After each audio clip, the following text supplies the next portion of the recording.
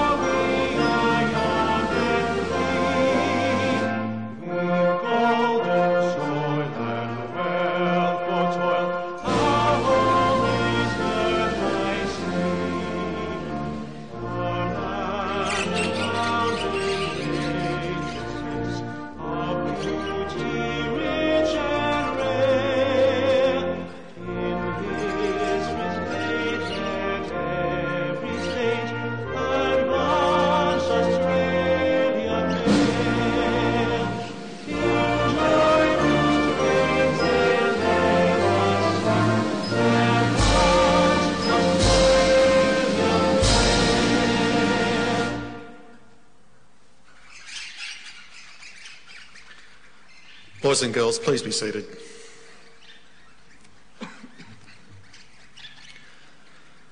The Australian War Memorial was the vision of Charles Bean, Australia's First World War official historian. Bean landed with the Australian troops on Gallipoli and stayed with them at the front through to the end of the war. The idea of this national memorial and museum came to him at Pozières, France, in the depths of the bloody fighting of 1916. Bean's idea was that this would be a place where families, friends and all Australians could mourn their loved ones buried in faraway places. It would also be a place that could help all Australians understand what these men and women had endured and what they had done for us.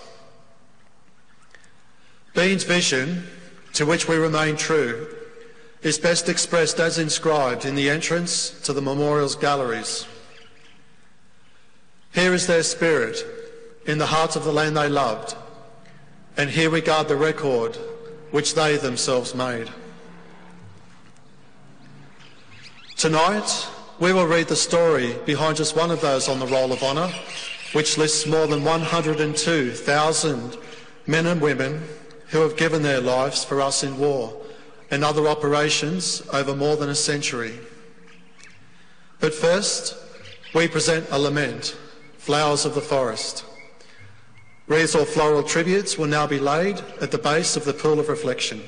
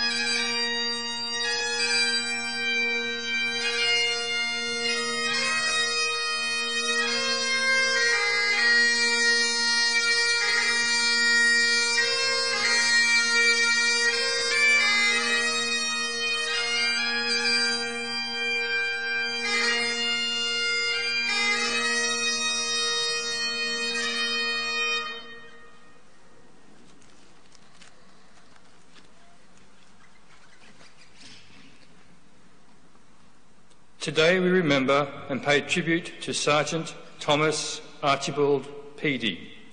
Thomas Peedy was born in Auckland, New Zealand, but moved with his family to Ballarat as a child. He completed a five year apprenticeship there to become a pastry cook and was an active member of his community, being well known in the YMCA, the Neil Street Methodist Church, the Druids Lodge, and the local rowing club. He enlisted in the Australian Imperial Force in July 1915 at the age of 23 and left Australia with reinforcements to the 8th Battalion. Peedy spent time training in Egypt and France with the 8th and the 58th Battalions. In July 1916, he transferred to the 15th Australian Light Trench Mortar Battery. These muzzle-loaded weapons fired bombs a short distance over on a high trajectory and were an important part of the firepower available on the Western Front in the First World War. Peedy proved to be an able member of the Trench Mortar Battery and was quickly promoted to corporal and later to sergeant. As a non-commissioned officer, he was regularly given the task of leading a section of the battery in the front line. Sergeant Peedy was known as someone, quote, characterised by courage and ability in all work that has been entrusted to him, unquote. He showed ongoing exceptional devotion to duty at all times, as well as great bravery and self-control under difficult conditions in the front line. He was a good leader of men and was known for helping the officers in his battery to keep the men together, inspiring them with his cool and cheerful bearing under heavy fire.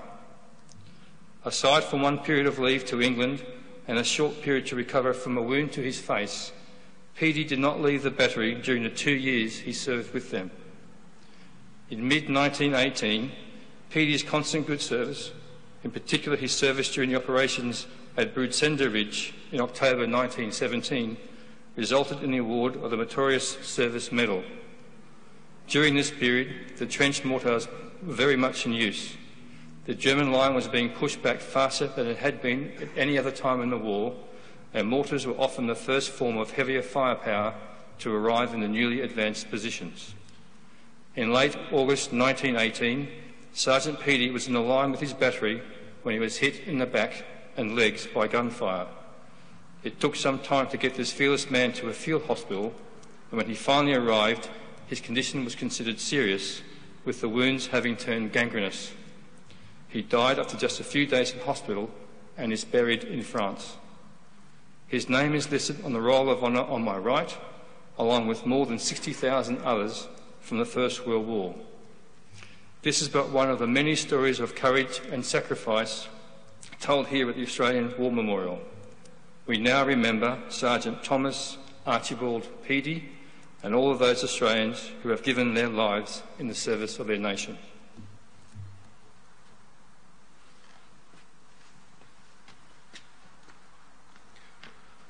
Boys and girls, please stand for the reading of the Ode and the playing of the last post.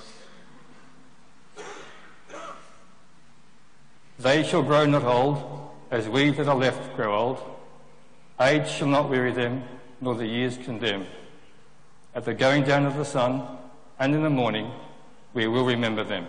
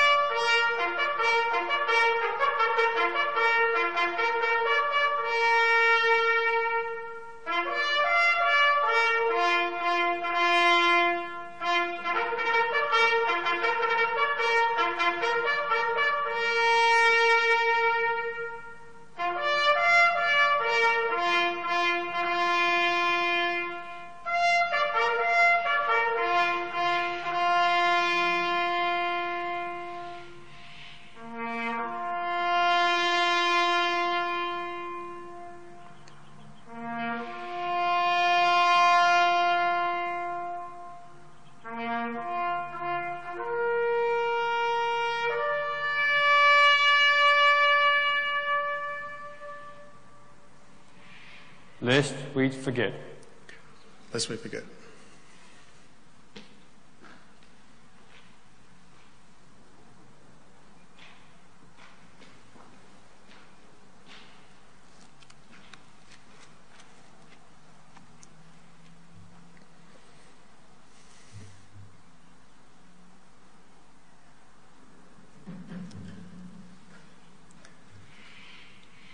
We leave you this evening with the words of the memorial's founder, Charles Bean. Many men lying out there at Pozières or in the low scrub at Gallipoli with his poor, tired senses barely working through the fever of his brain, has thought in his last moments, well, well, it's over. But in Australia, they will be proud of this. Ladies and gentlemen, that concludes the last post ceremony. Thank you for visiting the Australian War Memorial and good evening.